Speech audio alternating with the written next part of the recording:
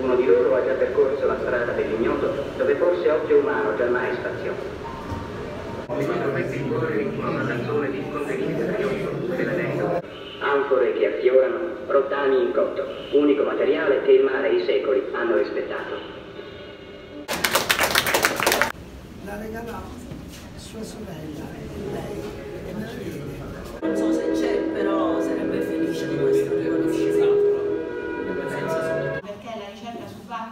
Giardini è iniziata eh, prestissimo eh, e sia Giardini che le isole Eole sono state antesignane nel campo di queste, eh, di queste indagini.